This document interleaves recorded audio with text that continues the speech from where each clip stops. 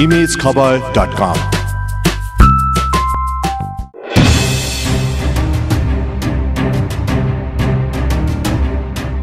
धुवा मानव शरीरमा नकारात्मक असर पार्ने मुख्य तत्त्व हो। यस धुवाले मानव शरीरमा विभिन्न रोगहरू पनि निम्त्याउने गर्दछ। त्यसमध्ये सवारी साधनबाट निस्केको धुवाले त झन् प्राणघातक रोग नै निम्त्याउने गर्दछ।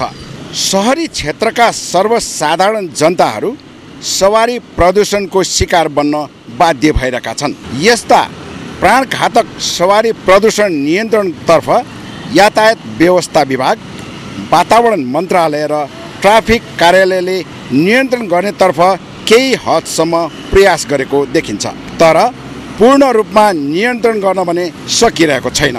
सवारी प्रदूषण नियन्त्रणतर्फ के कस्तो पहल भइरहेको छ भन्ने जानकारी लिनको लागि हामी महानगरीय ट्राफिक प्रहरी महाशाखा जाँदैछौँ। ट्राफिक प्रहरीले यातायात व्यवस्था कार्यालय र विभागसँग समन्वय गरेर अन द स्पोट चेक जाँच गर्ने र जरिमाना गर्ने गरेको छ र अहिले एघार सय अस्ति एक्काइस गतेदेखि हिजोसम्म मात्रै एघार सयवटा सवारी साधनलाई हामीले कारवाही गऱ्यौँ र त्यसमा चेक जाँच गर्ने क्रममा पाँच सय पच्चिसवटा सवारी साधन प्रदूषण फेल भएको अवस्थामा र पाँच सय अठाइसवटा सवारी साधनहरूको प्रदूषण सही अवस्थामा पाइयो र यसलाई यातायात व्यवस्था कार्यालयले उहाँहरूका डकुमेन्ट खिचेर उहाँहरूलाई बनाउन लाउने र जरिमाना गराउने गरेको छ। महानगरीय ट्राफिक प्रहरी महाशाखाले उपलब्ध गराएको तथ्याङ्क अनुसार दुई हप्ताभित्र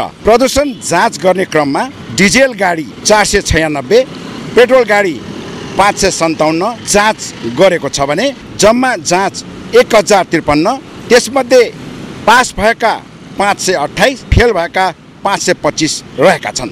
सवारी प्रदूषण जाँच गर्ने क्रममा फेल हुनेहरूलाई महानगरीय ट्राफिक प्रहरी महाशाखाले रु एक हजार जरिवाना गर्ने गरेको छ। यस्तो प्राणघातक रोग निम्त्याउने सवारी प्रदूषण नियन्त्रणतर्फ सरकारले विशेष ध्यान पुर्याउन जरुरी देखिन्छ। इमेज समाचारका लागि क्यामेरा पर्सन सहदीप केसीका साथ दीपक श्रेष्ठ काठमाडौँ।